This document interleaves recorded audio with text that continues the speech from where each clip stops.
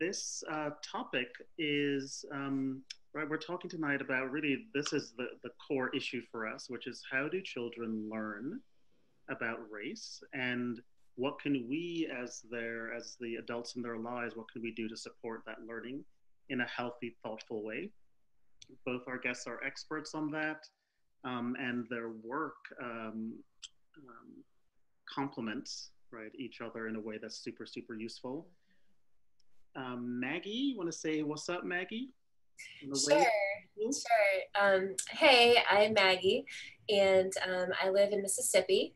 Um, my research focuses on white families and white children, and so I've spent a lot of time with kids and with their families and trying to understand um, some of the challenges that their parents face and some of the ways that, that kids are making sense of um, racism and learning racism and learning to challenge racism. Um, and I've always loved Embrace Race since you first got started. And so it's really fun for me, for me to be on here tonight. And actually, the other guest, Erin, um, is one of my academic heroes, um, and a lot of my research builds on hers. So this is really special for me tonight. So first, we didn't really invite Maggie for her expertise, but just because she loves us. uh, what Who Maggie, doesn't? what Maggie didn't mention is that she recently uh, published a book that's getting a lot of plays called White Kids Growing Up with Privilege in a Racially Divided America, uh, where she explores how white children learn about race in the context of their everyday lives. She's been all over the airwaves, and her written work uh, has been all over in some really, um, you know, significant venues: the Atlantic, the Guardian, um, the LA Times, and more on radio. All of it. Uh, thank you, Maggie. We're really delighted you're here. And Erin, so glad that you're here as well. Um, yeah, we've drawn on, on Erin's work uh, a ton. I'm going to let you say a word about yourself in a second, Erin. Let me just uh, give some of the basics. You are a professor of African and African diaspora studies and urban studies at the University of Wisconsin Milwaukee. Um, I think uh, Melissa mentioned uh, it was here before we started reading Erin's book recently. Uh, the book is called Learning Race, Learning Place Shaping Racial Identities and Ideas in African American Childhoods. She recently consulted for the National Museum of African American History and Culture, working to train museum staff to have productive conversations about race and racism with visitors of all ages and backgrounds, and many more uh, in, in, in, the case of both of our guests that, we, that could be said but you get the idea. They're impressive and they're they're fabulous and really delighted to have them. Erin, did you want to uh, add anything before we dive into uh, what you have to share, just for people to know where you're coming sure. from? Sure. Um, like Andrew said, I live in Milwaukee, Wisconsin, and I've been in African American studies my whole academic career since I was a freshman. So that's since. Uh, 25 years. I, uh, but I often get the question, you know, how did a white woman like you end up in African American studies? And I go back to my childhood. I grew up in a, a predominantly white college town that like to think of itself as pretty liberal and not having those kinds of problems here. And even my earliest memory as a six year old, uh, I mean, about this kind of thing is as a six year old wondering, okay, well, the adults say, everyone is treated equally, but that's not what I see around me. So uh, my interest in this started as a child, and I was interested in how do these ideas about race that people have, um, how do they come to be in the first place? And so that's how I got interested in studying how we all develop our ideas about race, our racial identities, and how children, especially for me, African American children, negotiate racism in their daily lives. Erin, thank you. I'm going to hand it to you, um, I think, to start uh, your presentation. All right. I just want to note that, um, you know, that point about being six years old, I mean, I think most six-year-olds probably aren't as, uh, um, can't crystallize, right? That I don't know. well, no, they know. Right. They know, but perhaps they wouldn't say, right, have the wherewithal to say, oh, there's a difference between what I'm seeing and what adults are telling me. But yes, they know they know. And I'm sure this you will right. more than touch on that point. You might be raising our kids in that now that she grew up in. Yeah. Anyway. Let's see we'll if I can share. Oops, nope, that's not what we want to see. Let me try again.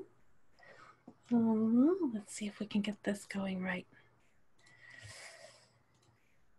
Let me try it once more. No, that's not right. Okay, once more. Sorry, I'll just share my screen. Um, we'll just. Uh, That's okay. I can do it. Yeah. Uh, let me share the screen and then get that going. How's that? Perfect. Can you see it? Wonderful. Okay, so thank you so much to all of you for being here tonight. We really appreciate you. I'm super excited to be here with Maggie. I'm so impressed with her work. I love Embrace Race, so just thanks to all of you for being here. We just want to tell you how things will look tonight.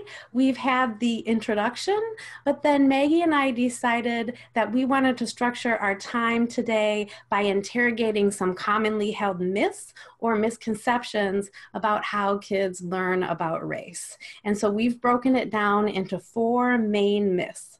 So we're going to talk about each myth in turn and explain why, although these things seem like they should be true or they seem like common sense, they're actually false. Um, and then we also want to share with you um, so, given this research, what are some ways in which we can and should be engaging kids about race? And of course, we will also spend most of our time tonight on question and answer. And I think we may um, invert that number three and four a little bit. We'll see how, how our time goes. But, but Maggie and I really want to focus on these four myths. So, Maggie's going to start it off with our first myth. It's all about what parents say. Right. So this myth um, is one that I often see um, in the aftermath of, for example, a racist hate crime. And I see all kinds of blog posts and, and newspaper articles and op-eds written about how it's really important to talk to your kids about race. And I think that um, while certainly what parents say to their kids about race is meaningful, so too is what they do. And so I think both in my research, but as, as well as Erin's research, um, you know, we really sort of find that actions speak louder than words. And I think that's a really important um, kind of idea that can debunk this myth. Um, and so in my research on affluent white families, I find that behaviors like um, how to respond when grandpa says something racist at Thanksgiving, right? How parents choose to respond to that um, is a way in which they're modeling behavior to their kids. And so that, you know, that action is really powerful, what they do or what they don't do. And even silence can be a form of modeling. Um, in addition, um, choosing neighborhoods um, where you live, where your kids go to school, the friendship groups that you either encourage or even discourage, um, the extracurricular activities that you enroll your children in, um, and so forth. These, these things um, I show in my book and in my research, and, and again, building on Erin's amazing research, really you know, speak to how a child's racial context is set up. Um, and I think Erin's going to talk a little bit more about this in a moment.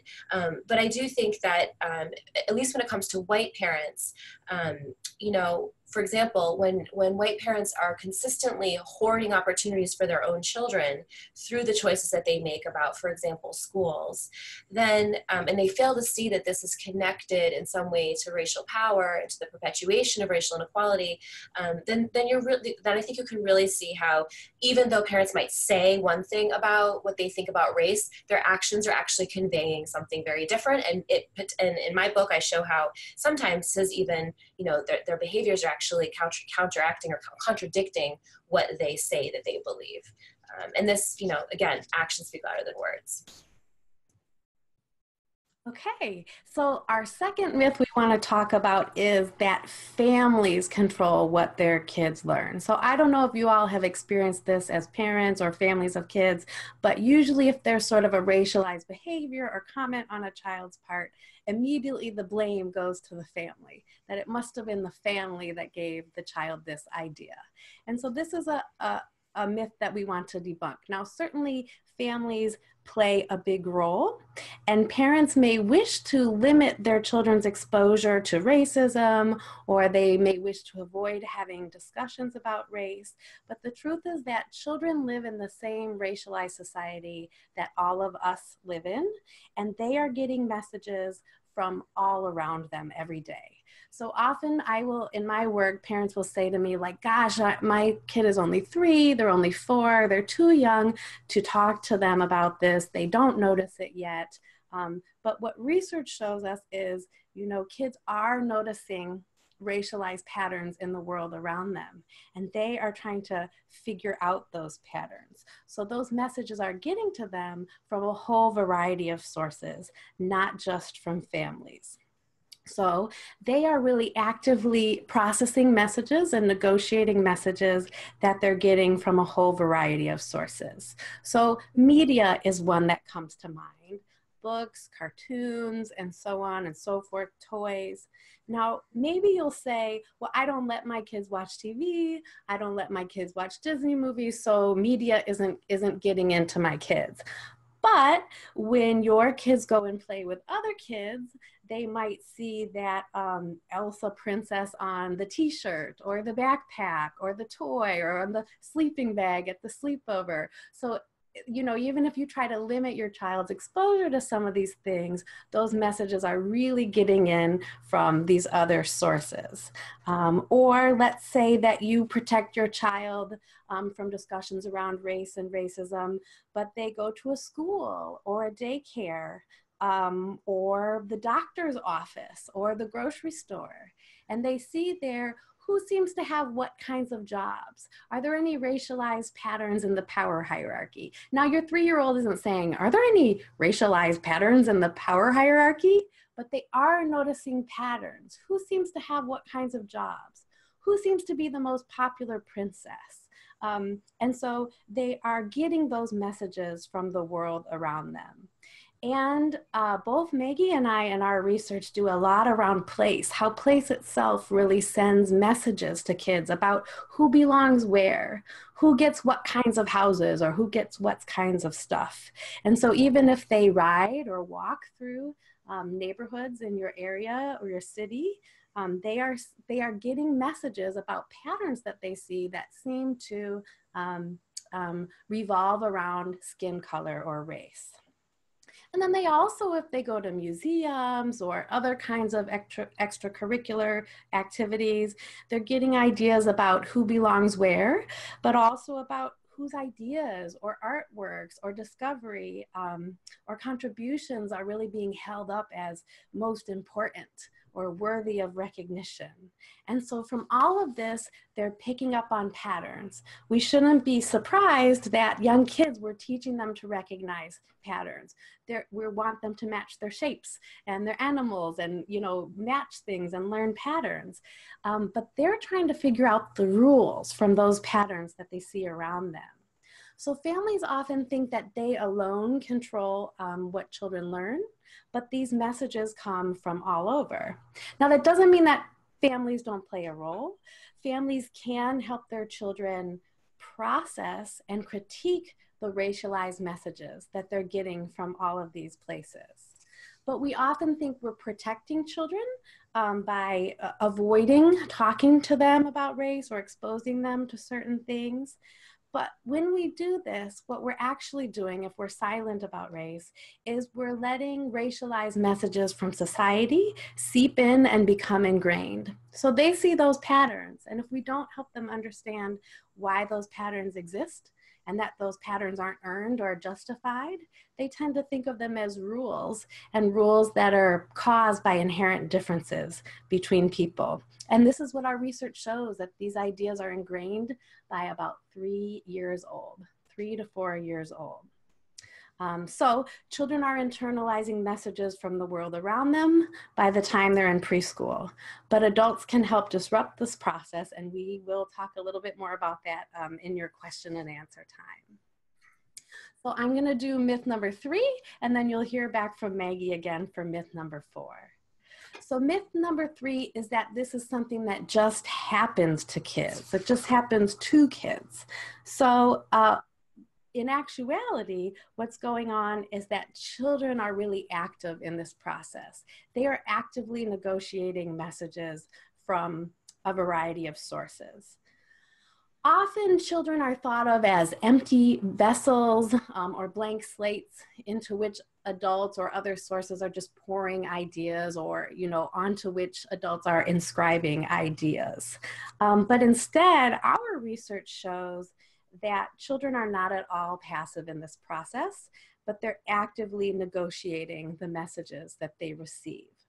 So when I first started researching this topic, all of the scholarly literature I was coming across was talking about children being socialized or being racially socialized or parents socializing their children. So parents were um, conceived of as active in this process, but children were really um, framed as passive.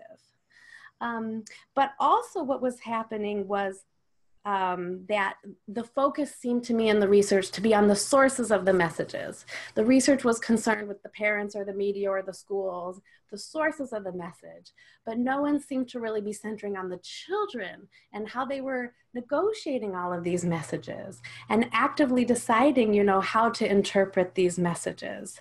And so that's why I created this framework called comprehensive racial learning because I wanted to do first thing um, two things. First, I wanted to um, sort of deal with what we talked about just in myth number two that notion that it's only parents. And I wanted to instead say, like, actually, it's a variety of sources that are involved in this process with kids from which children are receiving messages.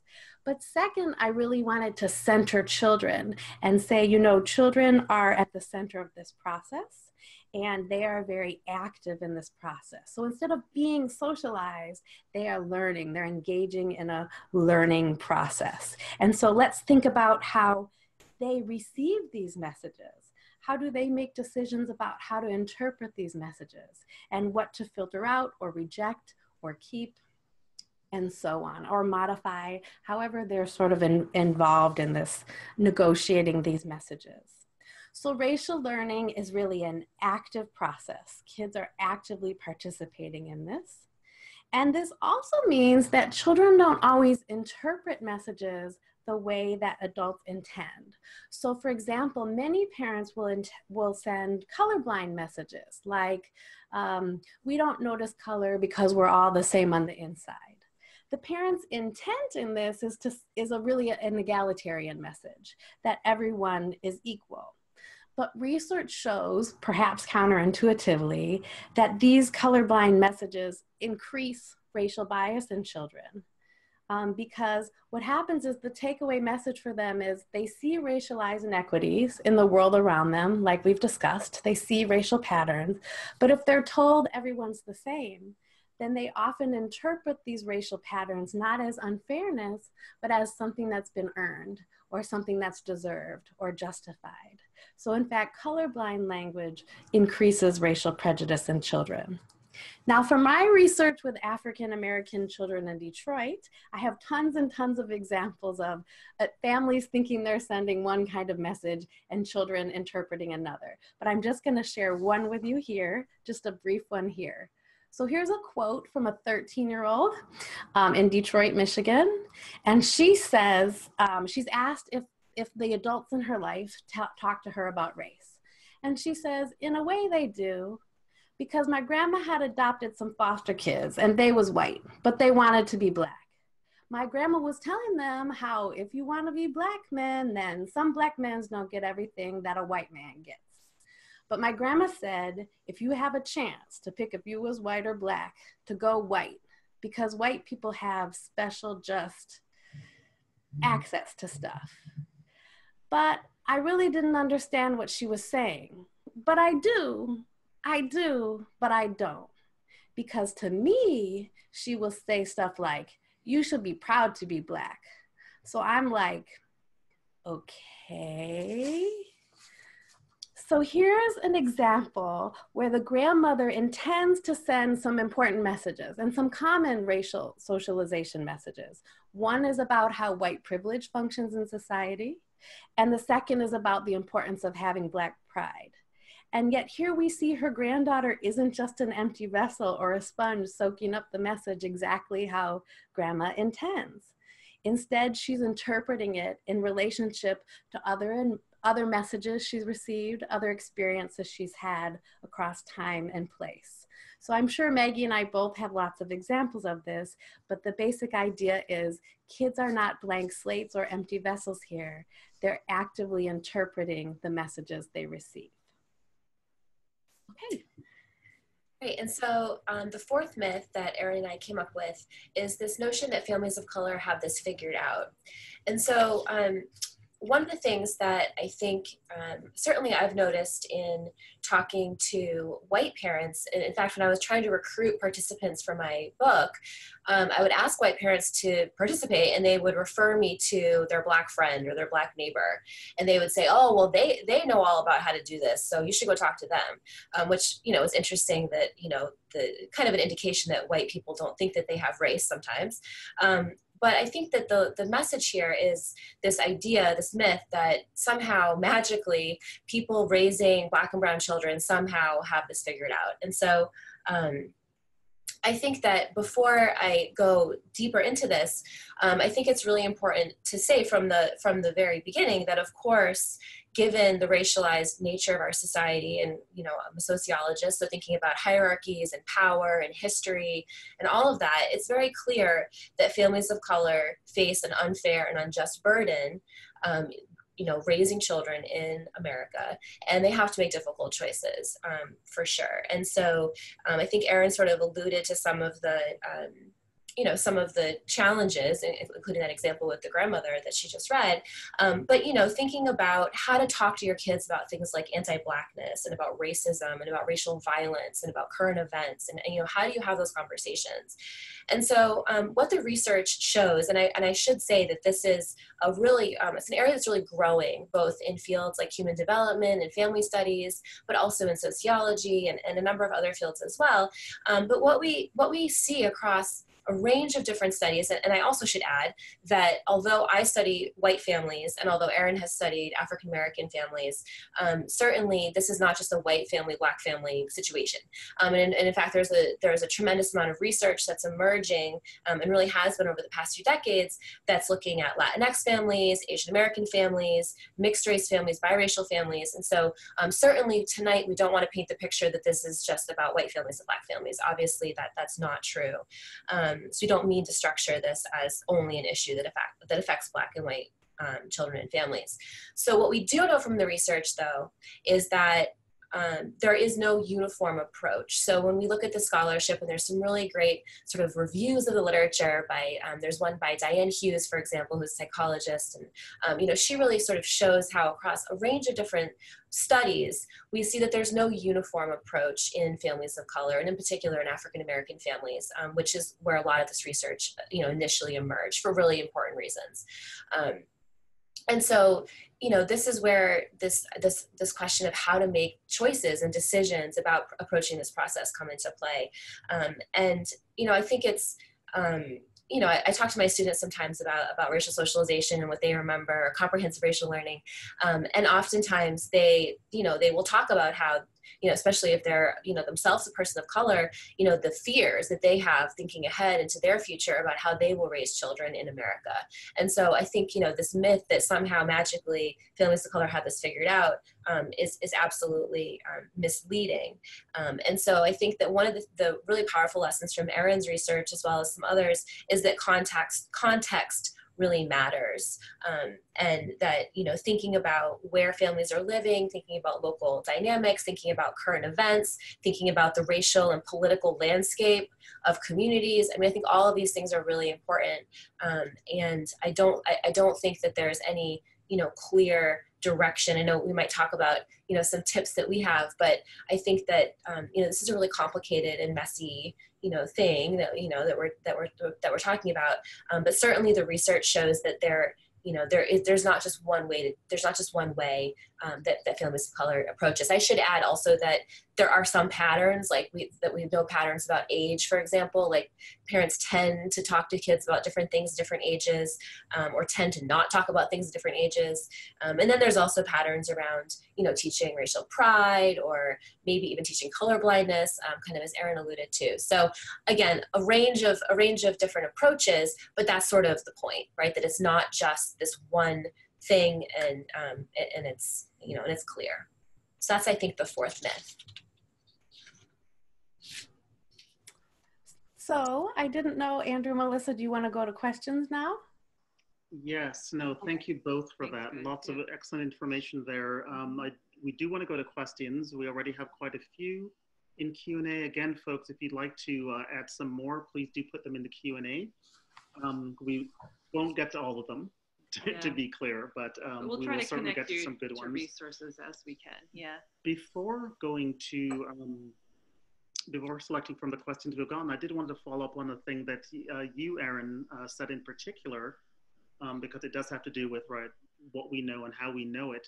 And what you said was that you know by age three, racial attitudes are ingrained, right? So like value-driven racial attitudes. Um, I think you used the word ingrained, but whatever the right word is, can you just say more about yeah what is happening, you know, roughly around age three?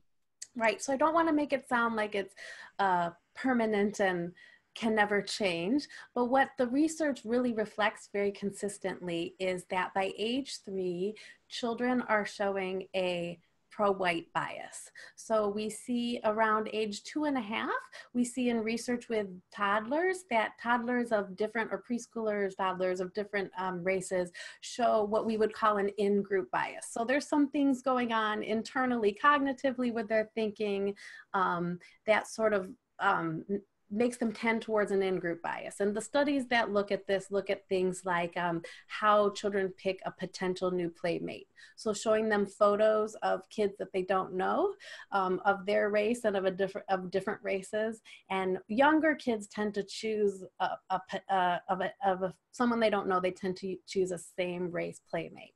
But by many of these studies show that by three or four, um, the white kids continue to choose a white same race playmate, but the um, children of color start also choosing a potential white playmate. So instead of like this sort of in group bias thing, we start seeing all of the kids shifting towards a pro white bias. And so what researchers think is going on is that those messages from the world around them are getting in that, you know, uh, it's better to be white, the hero's always white, white people get nicer stuff. You know, these kinds of messages are coming in from the world around them. Now, adults often think that um, three year olds are too young to talk to about these things. But when we don't talk to them about it, they see those patterns in the world around them and they internalize them as um, deserved or earned or justified. And so, in fact, when we use colorblind language or silence with kids that young, we actually sort of give up our power to the messages coming from society. And so this is why I really try to encourage parents, and we can talk about some ways. How do you talk to a three or four year old about the patterns that they're seeing in a way that they're able to um, question them and critique them? Did that answer your question, Andrew? Yeah, absolutely. Yeah. No, thank you. Yeah, and that does that does uh, remind me of um, Michele Wallace, who wrote uh, uh, Black Macho and the Myth of the Superwoman all those years ago. She wrote this article and talked about the doll test, you know, and about how uh, black and white children were favoring white dolls. And her response to that was, well, they know the right answer. You know, mm. not, it's not necessarily that, oh, I I think I'm bad, but I know how I'm being viewed in this con. Like I know what the interviewer wants to know, right? Mm-hmm. Or is mm-hmm. asking. If that makes sense, there's a little bit of a difference there between oh I think this and oh I am in this world and I'm navigating it. You know, so I think a lot of we got a question actually from a parent whose child, uh, biracial child, was identifying as white and is sort of light skinned, but seemed to have a preference and I don't know how old the child was, but they were talking about a wrinkle in time and how they preferred. I don't know. They, they so they were of an age to watch that. So let's say eight to ten, and the parents were upset. You know, just why is my child favoring? And I, I kind of think there's a bit of that. Um, they know the right answer, right? So how do we interrupt that? And and what would you say to either of you to that parent? I mean, sort of extending from what you just said. Don't know if you're familiar at all with the research of Kerry Ann Rockquemore. Um, she and her co-author, I know the last name is Laszloffy. I don't know the her first name. I apologize, but they have a book called Raising Biracial Children, and in that they have a model they call the COBI model, the Continuum of Biracial Identity.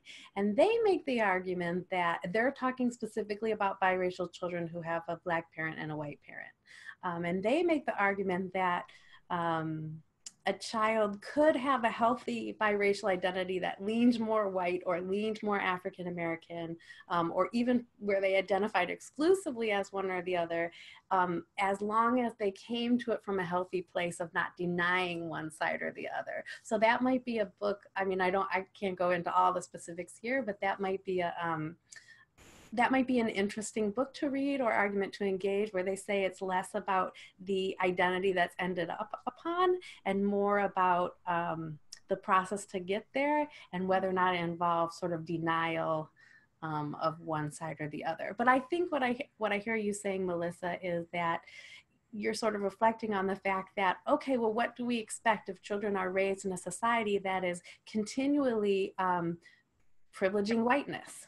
In all different realms. And we've named a few, but there are many different realms. And it's constantly sending this message that, um, you know, whiteness is better in many different ways, or that it's easier to be white or better to be white, or all these different things. Then should we be surprised when children choose the white doll? Or should we be surprised when children choose the white heroine um, in the film or those kinds of things um, because they're getting those messages and it's unhealthy for all kids but i can see how you know it's, it feels especially unhealthy for parents of color and this is why it's because those ideas are getting in so early. We think three is too young to talk with kids about this, but that's when we know that these ideas are reflected in their choices. And so this is why we have to recognize, even if we think we're protecting them, they see patterns in the world around them. And we have to explain to them that those patterns are because of unfairness. They're not because of um, inherent, you know, differences or earned or justified differences. They're because of unfairness. And they're because of social unfairness. The good thing here is that if you spend any time with kids, you know that they are very into what is fair and what is not fair, right? If there's one thing kids have, it's a very keen sense of justice. So we can use this notion about um, fairness to help them understand these patterns that they're seeing. Usually, the question that I get is sort of like, how do you explain this in age appropriate ways um, and that you know depends on the age of the child but there's age appropriate ways for three year olds four year olds eight year olds you know 13 year olds to talk about the unfairness in the world around them and that helps them critique instead of subconsciously internalizing those messages um, that they're bombarded with over and over, both obvious and subtle, about whiteness being better. Um, instead, you're teaching them to recognize those as false messages based around unfairness and to critique them. And soon they're able to do that on their own. Now, one thing, and then I promise I'll stop talking, is you don't want to teach kids, it's not responsible for us to teach kids about fairness, unfairness, excuse me, without also empowering them and showing them that there are people working to make change and that they can be part of that change. Because otherwise, you're essentially saying, and this can be really damaging, especially to children of color, sorry, life is totally unfair to people of color. Okay, sleep tight. You know, that's, that's going to be scary um, and just really demoralizing. And so that's why we always, um, um, always, always, always teach about unfairness, but link it to empowerment. So I can go, I don't want to go on and on, but that's something that we can talk more about. So thank you, Erin. Um, you know, Maggie, I want to take this next one to you uh, because actually it's a it's a case in point, right, of a child recognizing patterns. Um, and but it's a and but you know we have a specific age for the child in a specific situation, um, and I want to offer one little twist. I'll read this and offer a little twist, which is it's not clear here uh, what the racial identity of the child is. Uh, so I'm wondering if you know from your perspective if that makes a difference in exactly how you uh, frame the answer. And the, the question is this uh, this is from Sasha, who says, My nearly six year old daughter recently commented about how back in the 60s, brown skinned people had to sit in the back of the bus, but she's noticed that nowadays it's mostly brown skinned people that drive the bus. She acknowledged that it's been a while since she last rode a city bus. I affirmed her comment, but how could I help her further process the facts of what she was noticing and reflecting on? Again, what, what's your basic answer to that? And does it matter uh, the racial identity of the child in this case, what you would say, or how does it matter? Yeah, that's a really great question. Um, and it's interesting that this is that this is an example that, that came um, you know from a, from a family because actually in my book there are this similar types of things emerge particularly with this idea of, of buses um, and, and particularly thinking about um, segregation uh, both segregation you know formal segregation of the past but also patterns today that this child is noticing with who drives the bus um, so i think that from a racial learning perspective, I think that regardless of the racial identity of the child, they're noticing patterns as they go about their everyday life, you know, everyday life. Um, but I do think that you know, I, I never want to center whiteness in a way or, or assume that, you know, a white child noticing that is the same as a, as a black child noticing that, just given the history and the perpetuation of anti-blackness in America. And so I, I think that it's important to acknowledge that reality. Um, but in terms of the process of learning, I think that, you know, it's about noticing patterns like Erin was explaining. And, um, you know, based on my research, you know, I did this ethnographic study with 30 families, but even one of these are all white families, but, you know, at least in a couple of those families, a very similar, I observed a very similar thing happen.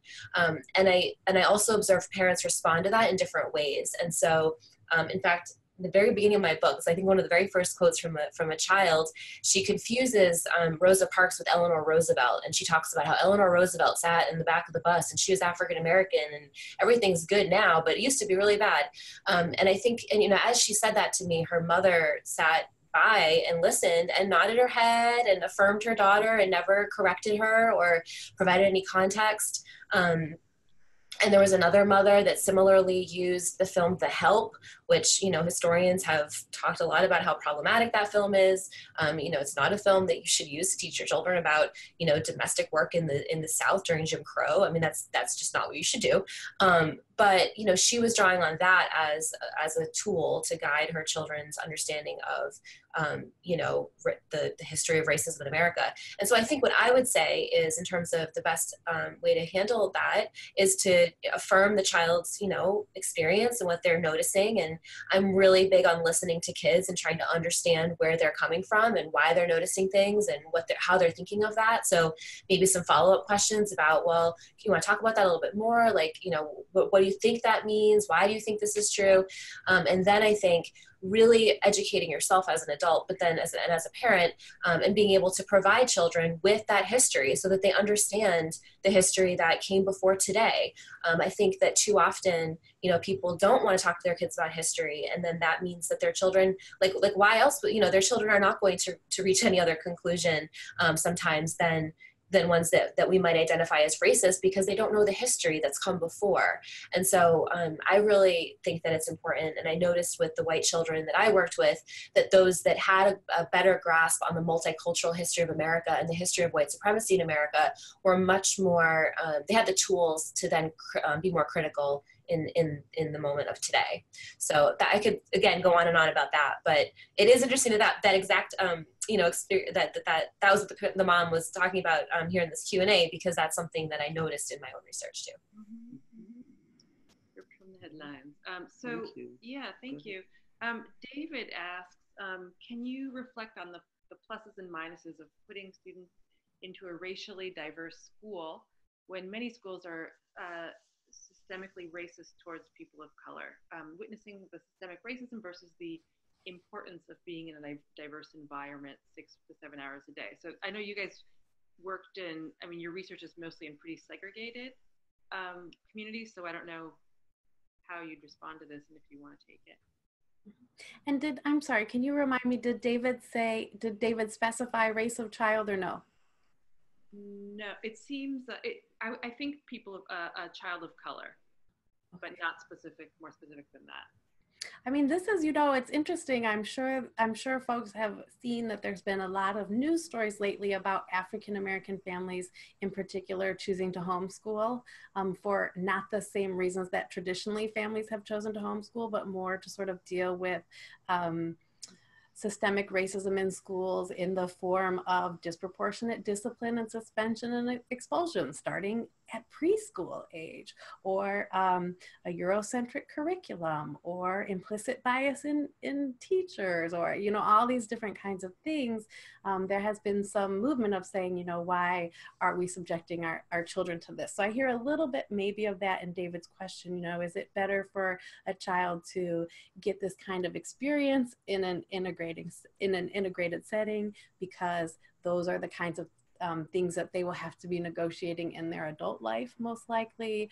Or is it better to, um, um, you know, not subject them to that kind of Eurocentric environment that's not going to fully value them and their intelligence and, you know, ha has bias and standardized tests and um, in racialized tracking and all different kinds of things. Am I interpreting the, the question correctly there?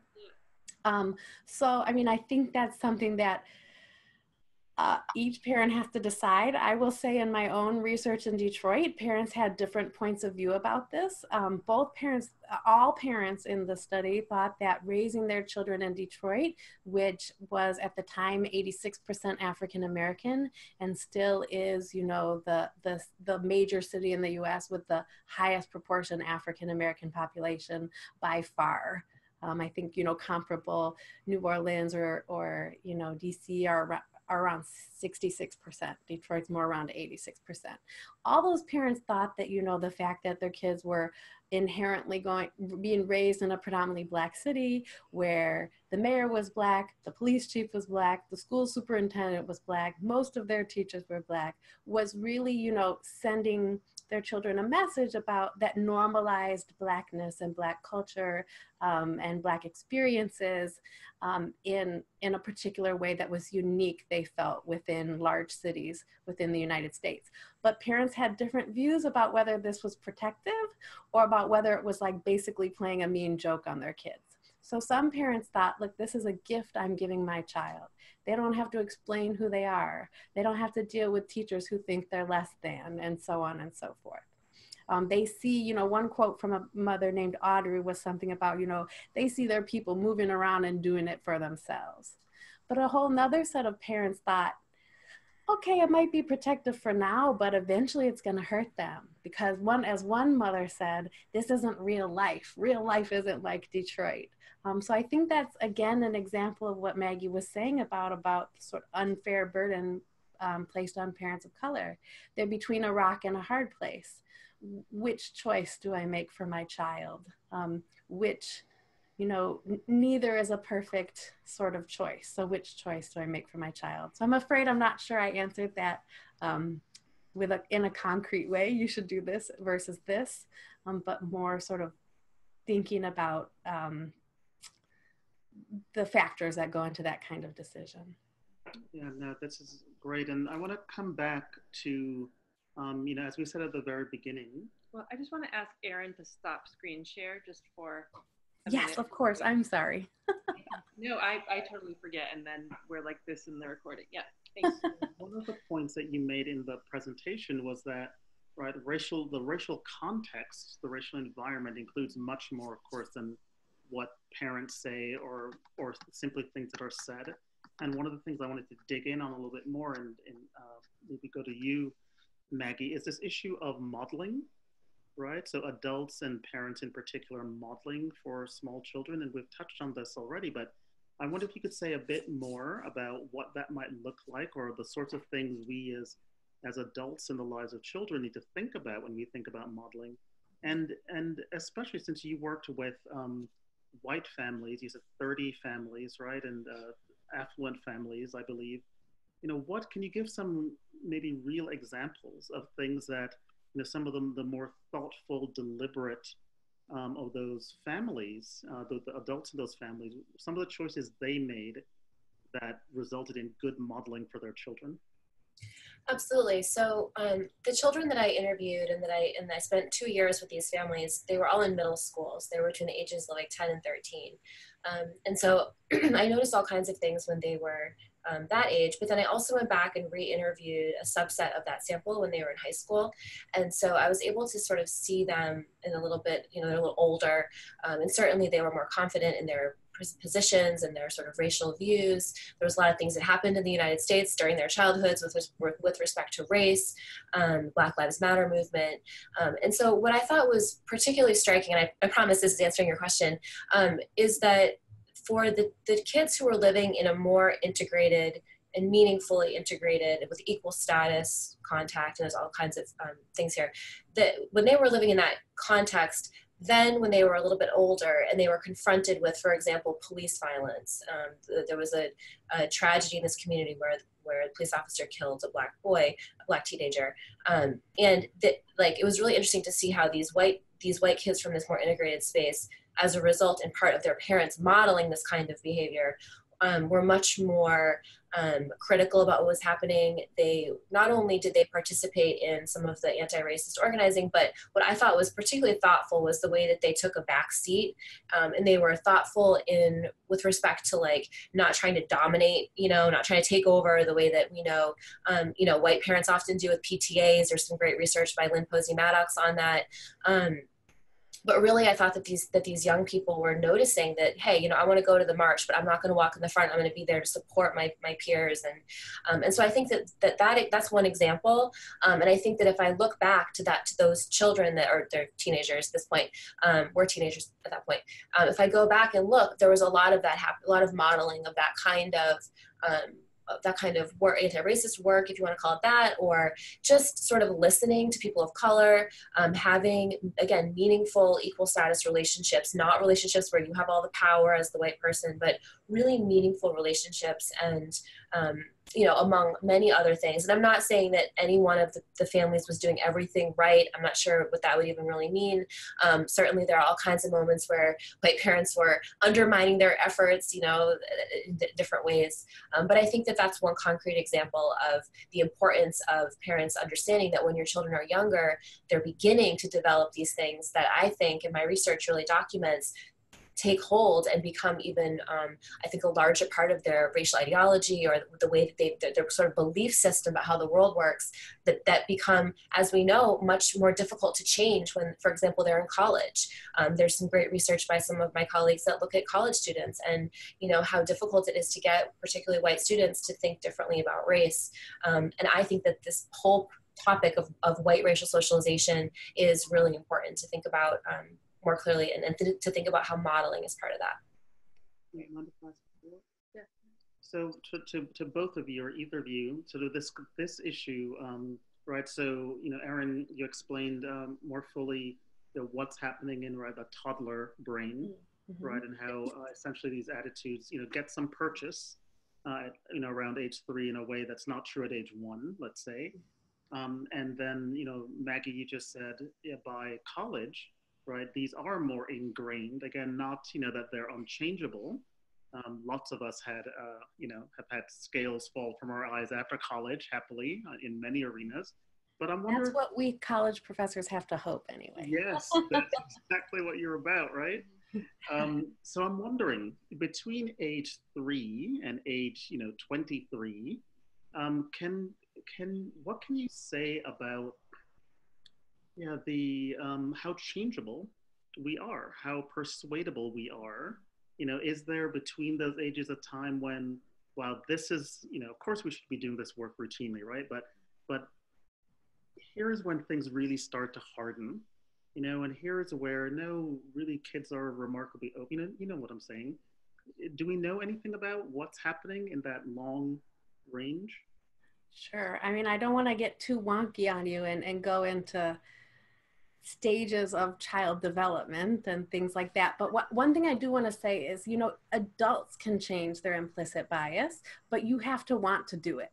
So I think the research that Maggie's talking about is a lot of what's difficult to change is getting student, getting adults to want to do this so much they will commit to the, you know, you you have to be very conscious about working to change implicit bias. You have to want to do it. You have to recognize it. You have to regularly work on, um, you know, counter stereotypic imaging and imagining yourself as a member of a stereotype group and all these sort of specific behaviors. And it's just like um, any any any kind of uh, change that requires a regular daily practice. We may wish to meditate every day, but or we may wish to exercise every day, but do we do the work? And it's actually the same with changing um, implicit biases. And so first you have to want to do it, and then you have to put in the work. So um, it's possible to change. I don't want anyone to feel like, well, my kid is 13, so forget it. It's already ingrained. It's too late. No, it's possible for any of us to change. But what does, and why I really encourage um, parents of young children to start early is, you know, we're getting primed from birth with these racialized messages, and they're sinking into our um, subconscious very early. And so we have evidence even um, with uh, six month olds, actually three month old, that they can categorize non-verbally based on race, based on how long they gaze at new faces of, of the same race as their primary caregiver versus different race than their primary caregiver. So kids are categorizing.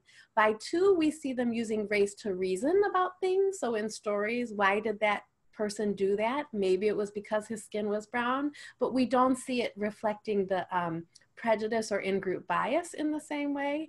And then it's three where it's really, really showing that sort of bias. But we're seeing the categorization and the reasoning even earlier than we're seeing that, um, that bias, that pro-white bias. Um, one thing that changes um, when kids get to be around seven or eight is actually, um, in, in, these are experiments that are around resource distribution. So if you ask kids to, you know, decide who's going to get the toys or the new playground equipment or whatever, five and six year olds will um, show in-group bias, you know, or show a pro-white bias, and they'll say they should get it because they're white, uh, for example um, seven or eight and nine, 10 year olds in the same experiments, they will make the same biased decisions, but they have now learned that you're not supposed to say. So their bias is becoming more implicit. And so they will say things like, oh, well, these people should get it because they worked harder or these people should get it because they're more deserving. So we see the ideas um, becoming more implicit around age eight. And so that's why I'm really, really urging parents to try to, before it gets so implicit, when kids are still willing to talk about their reasoning, that's when you can really sort of help disrupt. Now you can help disrupt it later, but at that point it's become a little bit more subconscious. Right. So we should um, we're getting close to wrap up time and we have so many questions. Um, I'd love to get all of those sites to everything that you guys are talking about, but uh, and pass them on to these folks. Um, but there's a question here from um, that I just that relates to your kind of what can we do and what you guys are getting to about um, empowerment. Uh, can you say more about how exactly to link empowerment when we're teaching kids about unfairness? And, and I, I want to sort of unpack it a little bit more. Um, and you know, we, we think a lot in this work about empowerment being sort of um, cultural empowerment. Uh, you know, uh, lots of um, maybe specifically sort of where did your, your where did your family come from? Um, you know, how did they get to where they they got? Uh, lots of great uh, examples of um, people doing good and doing well um, where you can and and getting somewhere from nowhere you know? Um, so all of that kind of resilience is a family characteristic right yeah. community characteristic. so, so i think of that as sort of the empowerment stuff and having lots of images and the media and all of that and exposure exposure exposure right? Um, but i think parents have a hard time when they um, you were telling us a bit about when people actually talk um, to their kids about um, about race, how are they talking to their kids about race, right? So we do the sort of empowerment and the preparation for bias, you know, mm-hmm. as sort of mm-hmm. psychologists, sociologists call it. Um, and that's it's unfair. Just taking apart the power structures because they're seeing it, right? So we do both of those. But what are par- parents of color actually doing, and what are white parents actually doing when if they talk about race at all? Maggie, can I jump in? And then yes, please. Okay, so um, let me give an example of sort of pairing um, appealing to kids' sense of fairness with empowerment. And I'm just going to be really quick, um, but um, here in Milwaukee, um, and I'm sure we're not the only place, there's a major east west thoroughfare called North Ave. And it starts all the way on Lake Michigan. And you can imagine the homes on Lake Michigan are very lovely and fancy. And there's a big, fancy, shiny Whole Foods all the way on the east end of North Ave.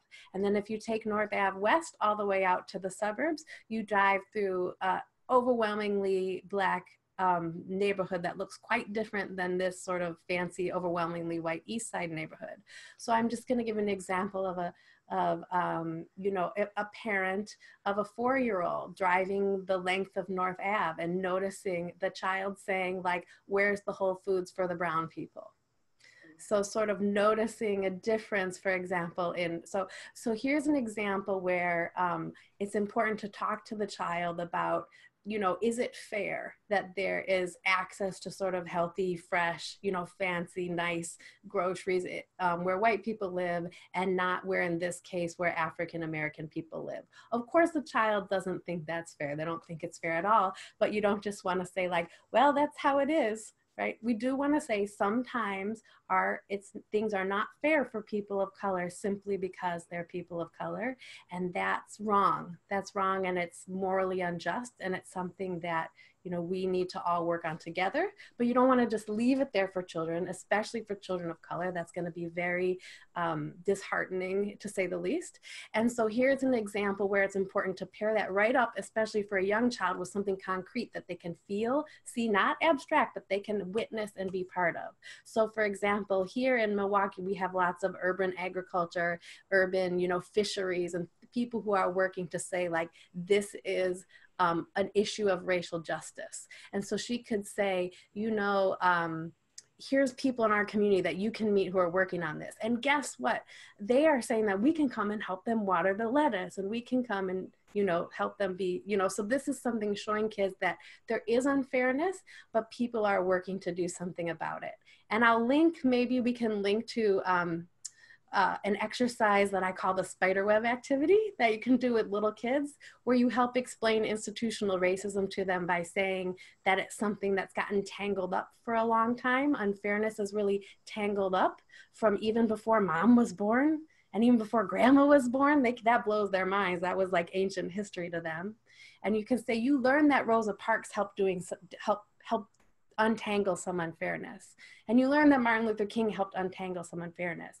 Here are people in our community who are untangling unfairness, and all of us have to work to untangle that unfairness because it's gotten really tangled up.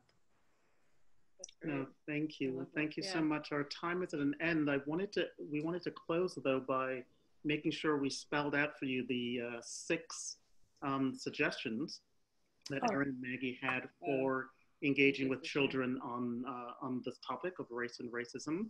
Um, now I have it in front. I can I can just read it, um, and we will share more resources. So.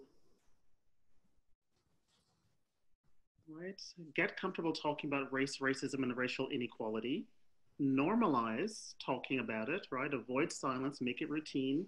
Empower, as uh, we've talked about, modeling behavior, for children, as we've talked about, connecting the past with the present and teaching critical race theory. And the literacy. Um, sorry, race, race literacy, critical race theory is in my own past. Um, and then finally, listening to children, right? Listening to them, understand their questions. On the floor. Yeah, where are they Elaborate, from? talk about it. yeah. it. Yeah, this is, there's so much we could go on and on. And so we will definitely um, make these resources available for folks on this. Um, we'll put them on our website. That this video will go up tomorrow, and then the additional stuff and a transcript uh, the week after, sometimes a little bit longer than that, depending. But um, there are so many questions, and, the, and, the, and there's. I really encourage you guys to um, look into these folks, and we'll send you their bios as well and their books, and to look at our archives because it's pretty deep. There are a lot of questions that we've um, sort of talked about before and had longer discussions about. So uh, we're trying to do uh, exactly what Erin and Maggie were suggested suggesting, which is to change our practice as parents and caregivers of children by just constantly working on it. So that's part of what the monthly conversation is and um, other programming that we're working on. So I hope you you join us um, in the future. And everyone, uh, first, everyone who tuned in, thank you for being part of our record setting uh, audience, uh, both live and in registration. And Maggie and Erin, thank you so much for the phenomenal work you've both done, work which is actively reshaping right this conversation about how we help our kids learn about race in a really thoughtful and constructive direction, which we obviously desperately need yeah. in this country. So yeah, thank you, really thank, thank you. you. for your work. Yeah, and we um, we have lots of different folks on all the time, and we love. Um, yeah, we we love white people doing the work as well. I just want to say that that we get comments sometimes like, "Why aren't you talking to people of color about this?" Well, we do talk to people of color, um, but um, but we really thank you for doing this work. It's hard, you know, and uh, we we really appreciate your doing it too. I think uh, and recognizing that whiteness is something to be deconstructed. So thank you. Thank you. Thank you. Bye-bye. Thanks everybody. Bye. Good night.